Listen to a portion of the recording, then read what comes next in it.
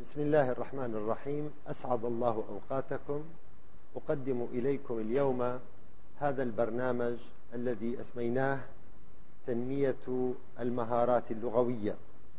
هذا البرنامج سيساعد مستخدميه على تنمية مهاراتهم اللغوية وسيقع في أربعة أقسام. أما القسم الأول في هذا البرنامج فإننا سنتناول فيه التقسيم والتركيب في اللغة العربية.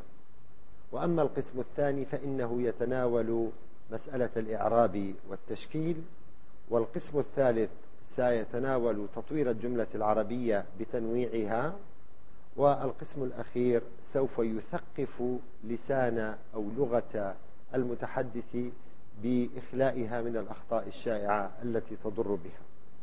أولا وقبل كل شيء علينا أن ندرك أن هذا البرنامج مختلف عن البرامج الأخرى لأنه يتناول مسألة اللسان واللغة من زاوية مختلفة لأننا سندخل إلى قلب المنظومة اللغوية ولا نتناولها كقواعد صارمة على المرء أن يتقنها وأن يحفظها وأن يطبقها.